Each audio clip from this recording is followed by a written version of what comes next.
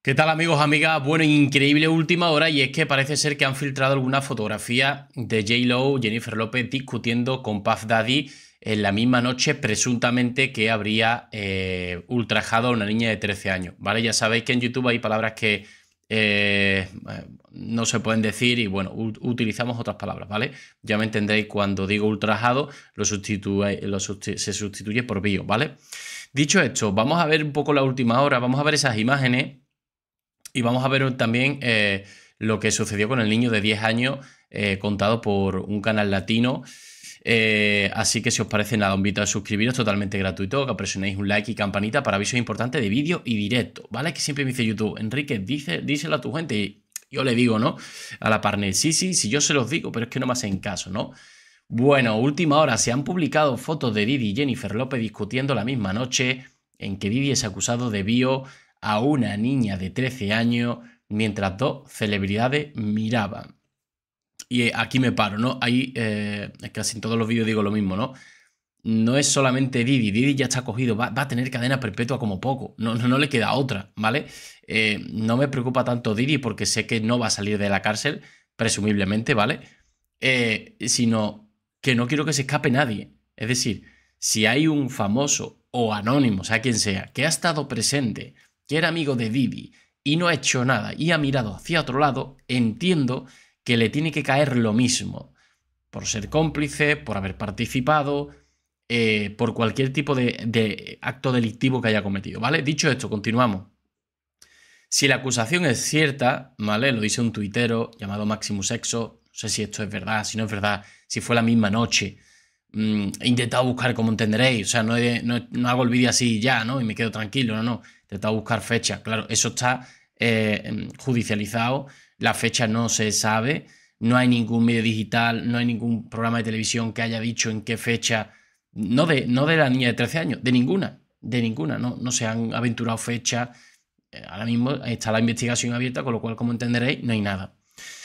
Si la acusación es cierta, por eso me había eh, parado aquí, las dos celebridades podrían estar en la foto que ves a continuación de acuerdo con una demanda, hombre, las fotos no salen todo, ahora lo vamos a ver.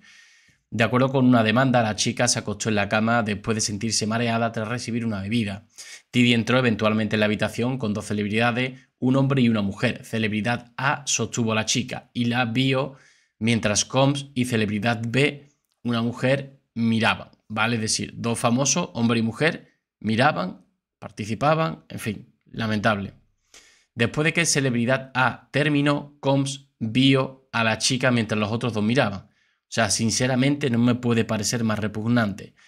Según el Daily Mail, respecto al incidente, incidente del 7 de septiembre de 2000, yo, yo no diría incidente, pero bueno, aquí hay algunos de los invitados que supuestamente asistieron a la fiesta. Y siempre me paro en lo mismo. Invitados no significa que hayan hecho cosas. Invitados significa que estaban en la fiesta y luego a lo mejor algunos participarían, otros no, o, o todos, o ninguno, ya lo veremos.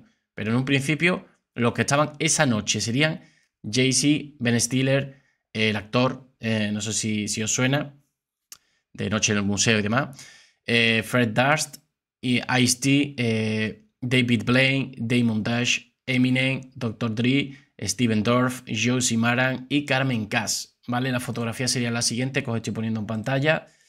¿Vale?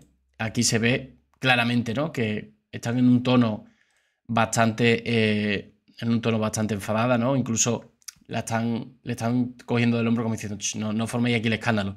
Didi, como no, si os fijáis, con una botella, si de champán o algo así en la mano, con lo cual ya, ya me dice que mínimo iba a pedo, mínimo iba a pedo. Aquí tenéis la foto más ampliada, ¿vale? Eh, imaginaros, ¿no? Aquí todos con copa de champán, con vaso, eh, insisto, esta fotografía está. Eh, en, esta fotografía que salen 12, 13, 15 personas, no caben más, ¿no? Eh, aquí hay un chico a la derecha que está viendo. Hay dos chicos, tres, tres, tres chicos que están mirando cómo discuten, cuatro este también. No sé si veis mi puntero que estoy señalando, ¿vale? mirando cómo estarán a gritos, me imagino. Y porque estará la música alta, si no, llamaría más la atención, ¿no? O sea, totalmente lamentable. Yo no sé si Jennifer López había hecho, si no lo sabía, si evidentemente era consciente. Ya no me quiero imaginar que haya participado. y era consciente de todo esto, tiene que ser impresionante. En fin, pasamos ahora con, la demanda que, que, alegó el niño de 10 años, que denunció el niño de 10 años, y vamos a ver cómo ocurrieron las cosas, ¿vale? Contra Didi son gravísimas. Esta demanda por supuesta agresión sexual a un menor de 10 años causa conmoción. Según el documento, el niño era un aspirante actor y rapero que había viajado con Vale, es un programa de hoy día. El niño de 10 años viaja con los padres para una audición. Con sus papás desde California a Nueva York para reunirse con representantes del sector musical. Así es, el niño contó en la demanda que durante esta audición, eh, un allegado del empresario le dio un refresco al que se le había añadido presuntamente algún tipo de narcótico y después Didi lo habría agredido sexualmente. La demanda indica que cuando el niño despertó, Combs lo amenazó con lesionar a sus padres si les contaba a alguien lo que había sucedido durante esta reunión. De verdad que le pone uno los pelos de punta todo esto. Fíjense que la otra demanda, también presentada el lunes, alega también que Didi obligó presuntamente a un joven, pero este de 17 años, a realizar actos sexuales con él. Y esto durante una audición para un programa de televisión, supuestamente cuando el joven se quejó, bueno, lo eliminaron de la competencia. Pero oye, ya más de 20 historias que tienen la misma, la misma trama y el mismo desenlace. Qué, qué grave, oye. Y yo creo que lo único bueno que podemos sacar de todo esto es que en Nueva York existe la ley que protege a todos los que tienen un abuso sexual después de muchos años, porque muchos de ellos...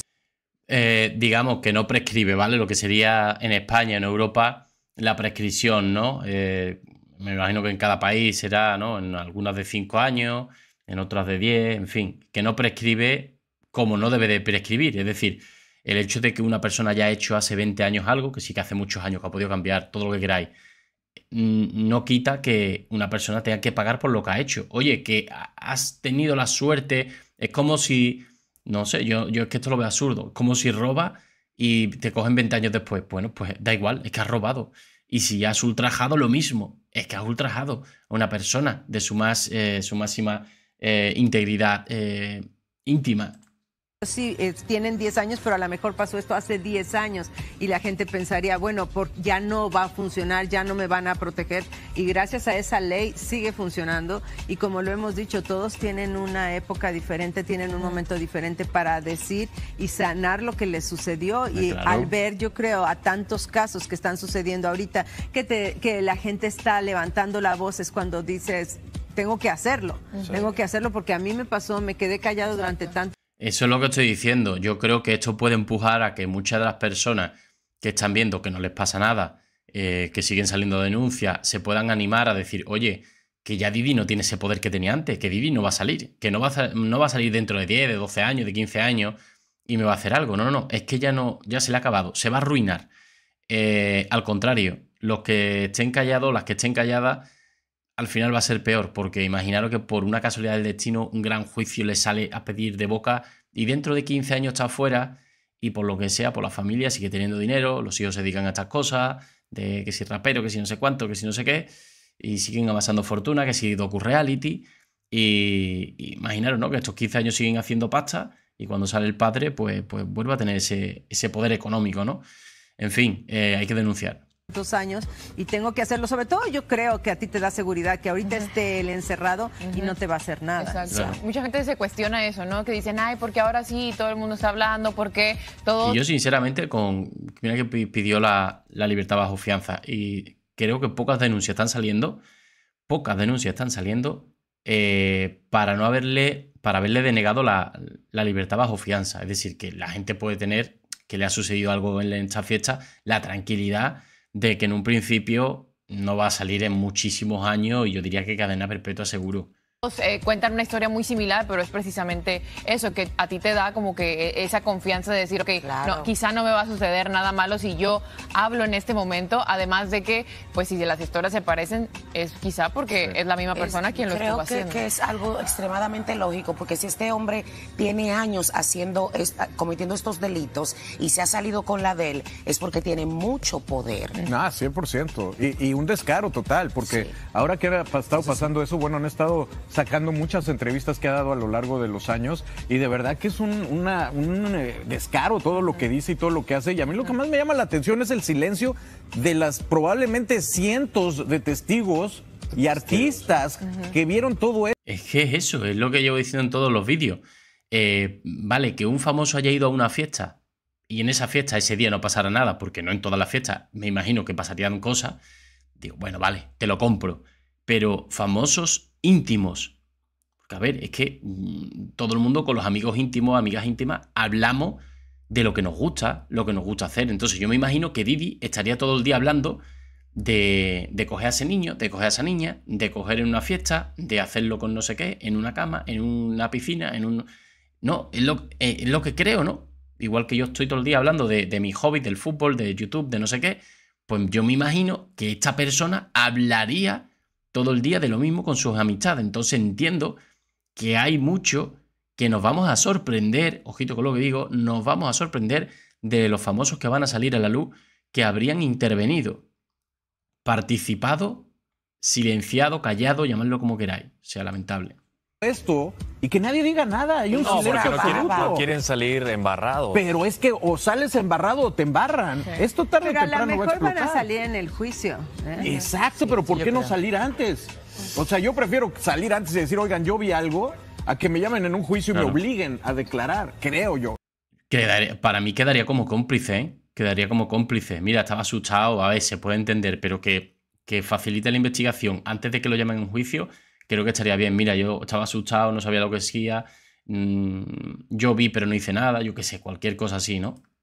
No sé, qué no horror. Pues sí. un gran número de demandas y yo creo que van a salir más ah, historias, ¿no? Muchas. Esperemos que no sea como otros casos que se quedaron enterradas, ¿no? Eh, exactamente. En fin, mi gente, una nota de hoy día. Hemos empezado también con, con esta noticia que os decía de Jennifer López. Eh, bueno, parece ser que enfadada en la noche en la cual la había ultrajado a esta niña de 13 años. No sé qué pensáis al respecto. Eh, intentaré corroborar esta información, evidentemente. ¿Vale? Eh, son habladurías de, Twitter, de X. Pero que bueno, seguramente lo que sí está claro es que ese día estaban discutiendo. La foto está clara que estaban discutiendo, él con la copa de, bueno, con la copa no, con la botella de champán, en fin. Mi gente, lo dejamos por aquí, nos vemos en el siguiente vídeo con más información, deje vuestros comentarios, un saludo.